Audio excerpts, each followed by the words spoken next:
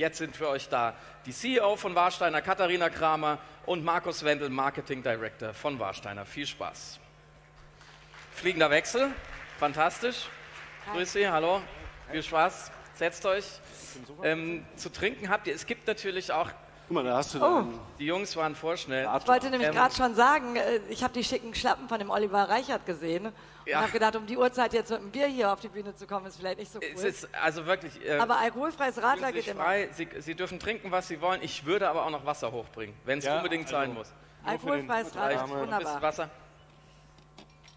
Auch ein Radler oder ein. Äh, Was trinkst du?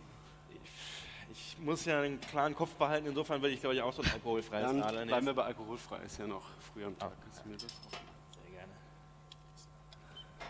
Besten Dank. Vielen Wohl. Dank. Prost. Cheers. Cheers. Fängt ja schon mal gut an. Ja, schön, dass ihr da seid. Vielen herzlichen Dank. Danke, dass wir da sein dürfen. Ähm, ja, meine erste Frage, wir haben das ja schon so ein bisschen im, im, im Titel des, des Interviews, vom Fernsehbier zum, zum was eigentlich? Fernsehbier, ich weiß nicht, die, die meisten Leute, wenn, dem, wenn sie mit diesem Begriff was anfangen kann, ich sage trotzdem noch mal, jeder kennt wahrscheinlich Warsteiner aus der Fernsehwerbung, das einzig wahre. Das gibt quasi eine ganze, ein ganzes Segment an, an Brauereien, die mit, dem, äh, mit Fernsehwerbung unheimlich gewachsen sind. Das ist bei euch auch der Fall. Nun äh, gibt es ja einige Veränderungen, die die Mediennutzung fragmentiert, die Leute gucken weniger Fernsehen. Gleichzeitig ist der, der Bierkonsum in den letzten Jahren jetzt nicht mehr durch die Decke gegangen. Das sind zwei Entwicklungen, ähm, mit denen ihr umgehen müsst. Vielleicht könnt ihr einmal sagen, wie ihr damit umgeht. Ja, es ist natürlich genauso, wie du gesagt hast. Wir waren früher eine kleine Dorfbrauerei und waren national überhaupt nicht bekannt. Und äh, da kam auf einmal das Thema Fernsehen. Und ähm, mein Vater hat sich entschlossen, nationale Werbung im Fernsehen zu schalten. Und alle haben gedacht, jetzt äh, ne, knallt er völlig durch. Und, aber das war dann eigentlich das Sprungbrett für unseren Erfolg, weil wir auf einmal die Bekanntheit hatten und die Leute wollten unser Bier trinken. Und so haben wir dann die nationale Bekanntheit gehabt und sind dann dadurch gewachsen. Das ist ja auch ein cleverer Move, wenn man sieht, äh, wo, wohin es geführt hat, wenn man der First Mover ist und einen Marketingkanal richtig ausnutzt. Und damals war es halt super effektiv, weil es ja eigentlich nur so die drei äh, Sender gab. Ne? Also man hatte kaum Streuverluste. Ja. Und äh, ja, die Welt hat sich geändert. Und heute, wenn man die Leute erreichen will, da gibt es natürlich tausende andere Kanäle und digitale Kanäle. Und man erreicht natürlich viel besser seine Zielgruppen. Man kann viel spezifischer reingehen. Fernsehen ist immer noch relevant für uns, aber ähm, die, digitalen, die, die digitalen Medien immer mehr.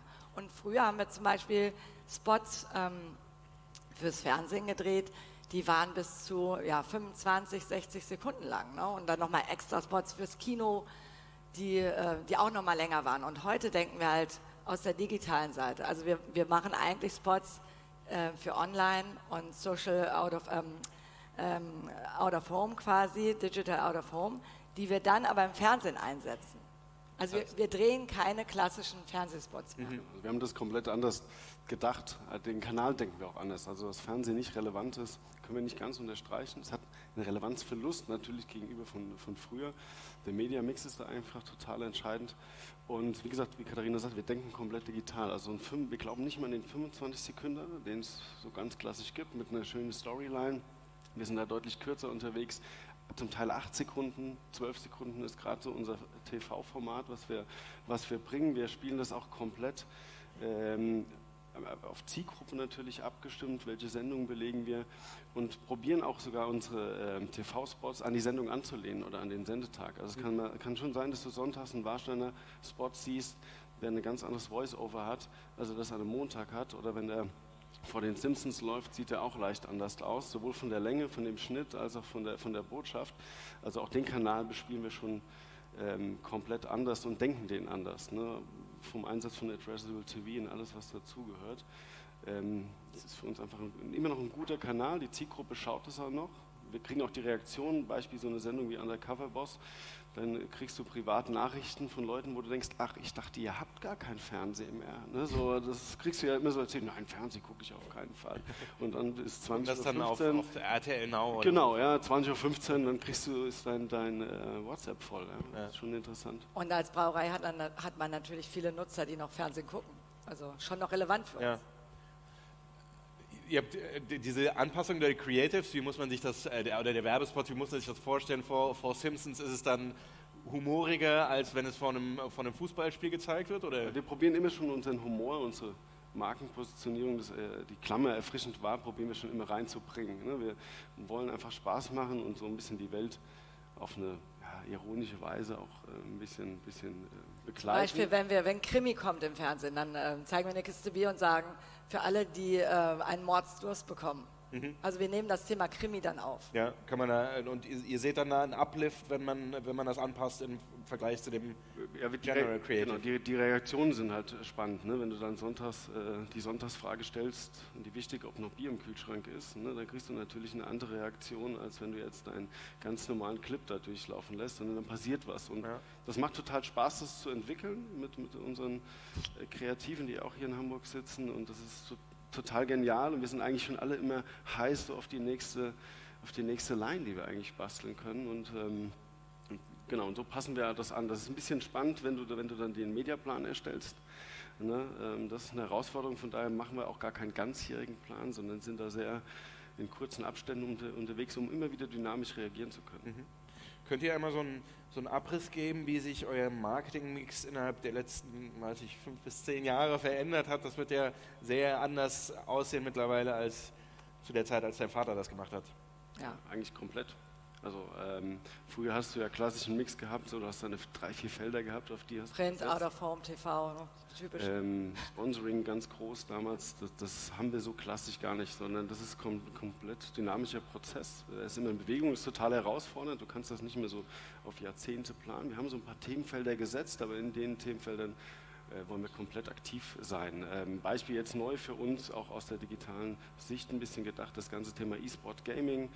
Ähm, mit den Partnerschaften der ESL, 99 Damage, wo wir äh, dabei sind, äh, wo wir auch einen ganz anderen Input auf einmal bekommen, wie wir mit, mit den Partnern und mit den Konsumenten umgehen können. Und das zeigt so ein bisschen diesen kompletten Wandel. Früher warst du im, im Stadion, hast deine Bande dahin gemacht, äh, hast geguckt, dass du irgendwie eine TV-Reichweite aufbaust, total passive Kommunikation, im Endeffekt Logo gezeigt und auf Wiedersehen. Das, äh, das heißt, ihr, ihr, ihr, sponsert jetzt ein E-Sport-Team oder ein, ein E-Sport-Event? Partner der Events, genau mit dem Team ja, oder, so weit, oder hier, wenn wir Partner sind, dann möchten wir halt nicht nur einen Kühlschrank mit Bier hinstellen, sondern wir geben uns Mühe halt, die, die, äh, die bestimmten ja oder hier zu sein oder die Etiketten dann zu machen, dass die Leute wirklich sagen, oh, guck mal hier. Äh, und das vielleicht dann auch posten und immer auch was Neues entdecken. Aber wie ist das im, im Bereich E-Sport? also das sind ja dann noch relativ äh, jetzt sage ich mal im Vergleich zum Fernsehen, unerforschtes Terrain. Da gibt es jetzt noch nicht die, die verlässlichen KPIs, die man im, im Fernsehen hat. Wie misst man, welchen, welchen Effekt es auf eine Marke hat, wenn man sich in so einem Bereich engagiert? Ja, das ist uns total bewusst, dass das noch ein neues Feld ist. Aber das macht ja auch Spaß, das zusammen, gemeinsam mit den Partnern auch zu entwickeln. Ne? Und klar, man ist immer ein bisschen KPI-driven, aber ich glaube, man muss es dann auch mal laufen lassen und nicht ab Tag 1 sagen, so, ich habe jetzt hier meine Liste der 10 KPIs und die hake ich jetzt ab und wenn das nicht nicht funktioniert, dann gehe ich da schnell wieder raus und suche mir irgendwie so das nächste Pferd, was da vorbeikommt. Sondern wir glauben an das Thema, wir glauben an die Community, die da unterwegs ist. Das passt super zu unserer Zielgruppe. Wenn man auf so einem äh, Event war, da wird relativ viel Bier getrunken.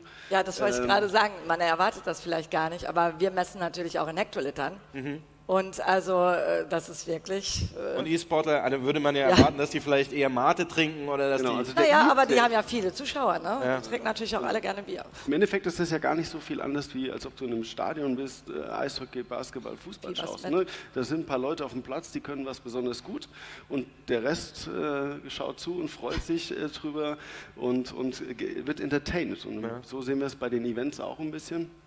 Ähm, wie gesagt, auch das Feedback, und das ist jetzt nicht die harte KPI, wenn ich sehe, was wir an Feedback bekommen.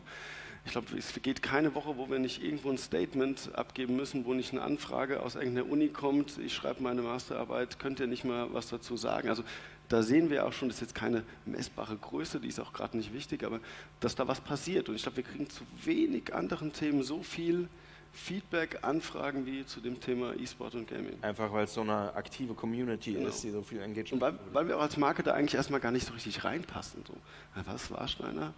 Ne, die haben doch hier immer Fußball gemacht ja. und äh, so die klassischen Sachen, wo du dann die Biere auch erwartest. Aber wir wollen halt auch ein bisschen anders sein als die anderen. Und ich glaube, man muss auch neue Wege gehen. Ja. Wie viel, wie, wenn ihr das irgendwie in Prozent, also ihr könnt jetzt, müsst jetzt nicht über Budgets sprechen, aber so im, im, im Marketingmix, im Prozentsatz, wie viel, wie viel machen solche Experimente? Ähm, wie hoch ist der Anteil an dem Marketingmix? also die Experimente können wir jetzt nicht, aber wir können halt, also früher war auf jeden Fall 90 Prozent immer im TV und das ist jetzt eher Richtung 50 Prozent mhm. Und äh, ich denke, wir sind so über 30 Prozent in digitalen Medien jetzt Digital und das Thema Sponsoring ähm, war ja immer früher bei Brauerei ein Riesenblock, den haben wir schon angepasst auf deutlich weniger. Also es geht uns nicht darum, viele Rechte zu haben, sondern die uns passenden, auch auf die Zielgruppe passenden. Und sowas jetzt wie E-Sport, lass es, wenn ich es im ganzen Budget sehe, sind es vielleicht momentan noch so ein, zwei Prozent. Ja, aber ähm, das bauen wir sukzessive aus. Wir haben da überhaupt keinen Stress, keine Eile. Wir gucken uns das von Jahr zu Jahr an. Wir äh, machen das auch wirklich gemeinsam mit den Partnern und probieren uns jedes Jahr zu entwickeln und auch nicht so mit dieser Logokeule um die Ecke zu kommen, mhm. sondern wir wollen einfach glaubwürdig da drin sein und das vielleicht die nächsten zehn Jahre. Und was macht ihr, was macht ihr konkret im, im, im Digitalen? Was sind da eure wichtigsten Hebel? Von den Plattformen meinst du? Wie wir ja, generell, ja, wo, wo, also wo Google, investiert Facebook, ihr eure Marketingbudgets in, in der digitalen Welt? Sind natürlich aufgrund ihrer Marktposition und so natürlich für uns wichtig. Aber für digitale Experimente sind wir immer offen. Ne? Genau, also Innovation. Die, genau, die drei großen, natürlich sind wir da unterwegs. Äh, klar, jetzt Gaming liegt nah, dass wir mit äh, dem, dem äh, Kanal Twitch ähm, und auch Twitter, dass wir den ganz anders uns nochmal betrachten, jetzt auch spielen. Das passen wir auch gerade sukzessive an. Im Fokus steht für uns eigentlich gerade dieses Jahr Instagram. Mit dem Thema Musik und Gaming ist auch YouTube für uns äh, ein, ein, Kanal, den wir, den wir deutlich mehr machen. Es gibt ja immer dann noch so diese Diskussion um Brand Safety und so und Quality. Da schauen wir natürlich auch immer spannend drauf, gucken, dass das auch alles gut passt. Aber ähm, auch die Kanäle bespielen wir komplett unterschiedlich. Also ich kann, wir behandeln Facebook aufgrund der Zielgruppe ganz anders, als wir das mit Instagram machen und spielen auch ganz andere Themen. Ähm, Gaming passiert auf einem ganz anderen Kanal, als wir das jetzt äh, bei Facebook. Also immer da, wo wir unsere Nutzer finden. Du hast jetzt eben gesagt, als dein Vater äh, TV-Werbung gemacht hat, gab es drei Kanäle. Ähm, und da war die Welt sehr einfach. Und im Digitalen ist, es, ist die Welt ja sehr fragmentiert und deutlich. Ja, aber es ist doch auch super toll. Ich meine, im Grunde genommen hat man ja die ganze Welt zur Verfügung auch. Ja, aber es macht euch die Arbeit schwerer. Ihr müsst gucken, also meine Frage wäre eigentlich gewesen, kann, hat digital das zumindest annähernd kompensieren können äh, in, in Sachen Markenaufbau, was beim Fernsehen weggefallen ist? Ja, ich würde sagen schon. Ja. Also, ne, es ist natürlich, wie gesagt, man muss es, die Klaviatur ganz anders spielen, aber das hat super Chancen und es wird auch deutlich relevanter noch für uns werden. Ich glaube, dass Fernsehen schon noch ein bisschen an Relevanz verliert, es wird aber nie weg sein. Das glaube ich, also zumindest nicht in den nächsten zehn Jahren, sage ich jetzt mal. Ne? Aber da gibt es auch, auch der Kanal wandelt sich ja, aber ähm, ja, man kann man schon sagen, wir spielen auch gewisse Produktkampagnen und gewisse Geschichten auch nur digital. Die passieren gar nicht mehr ja, äh, im Fernsehen. Ne? Oder so, genau, ne? unsere Biermixes oder auch andere Produkte. Das, das, da ist die Kampagne von vorne weg nur digital angelegt, weil wir wissen, die Zielgruppe ist da mehr unterwegs. Gibt es eine, eine Digitalaktion oder einen digitalen Kanal, der für euch besonders wichtig ist, eine Kampagne, die ihr besonders hervorheben äh, wollen würdet? Ja, also was wir mit den Mixes gerade machen im Bereich Instagram, auch äh, da setzen wir jetzt auch mit, mit Influencern äh, ein paar Geschichten um, ähm, auch da eine ganz andere Herangehensweise, wie wir, wie wir die Spots drehen. Ähm, das haben wir letztes Jahr gemacht mit dem Produkt mit äh, Moskau Mule. Äh, dann haben wir dann auch eine Geschichte gedreht mit so, mit so einem Sumo-Ringer. Die war recht erfolgreich. Auch das Thema äh, WM-Etikette, oder e, nee, WM war das, ja, WM-Etiketten. Ne? Da haben wir dann so ein, so ein Flitzer-Video gedreht. Das hat super performt. Ähm, hauptsächlich Instagram und die Geschichten funktionieren gut. Wir hatten äh, eben ja schon mit dem Oliver Reichert das Thema Amazon, er hat sich da sehr deutlich geäußert und äh, stellt sich da mit breiter Brust dagegen. Ich habe äh, gesucht, ihr seid auch auf Amazon vertreten, mir wurden da auch Warsteiner Anzeigen ausgespielt. Das heißt, ihr seid da ein bisschen kooperativer unterwegs und äh, ähm, seht das eher positiv, das Thema. Ja, also es ist für uns jetzt auch nicht der Riesenkanal, müssen wir ehrlich sagen. Ne? Ja, also wenn wir, es gibt ja dann immer so die, die, die, die Reichweitenthema und das Absatzthema. Ne? Also Absatz, Bier, Amazon, pff, ich kann es jetzt mal ein bisschen provokativ sagen, da gibt es einige Dorfsupermärkte, die setzen mehr Warsteine um. Aber ähm, nein, es ist trotzdem ein spannendes Thema. Wir wollen einfach dabei sein, wir wollen das sehen, was da passiert und lernen, vielleicht auch ein bisschen für die Zukunft. Aktuell sind jetzt da die, die Performance noch nicht überragend, aber ähm, wir testen das immer wieder aus, auch in Wellen. Und es ist halt auch super interessant, wenn man so bestimmte Pakete schnürt. Ne? Zu WM hatten wir dann halt auch Pakete mit Amazon, wo man dann Bier bekam und Dekoration und Chips und alles und dann quasi in so einer WM-Vermarktung mit drin war. Genau. Vielen herzlichen Dank. Wir sind schon wieder durch mit der Zeit. Ich hätte noch viele weitere Fragen, aber das werden wir dann ein andermal. Äh, ein andermal stellen. Perfekt. Vielen herzlichen Dank, dass ihr da wart. Ja, danke. Euch nochmal. Prost. Ciao, viel Spaß noch.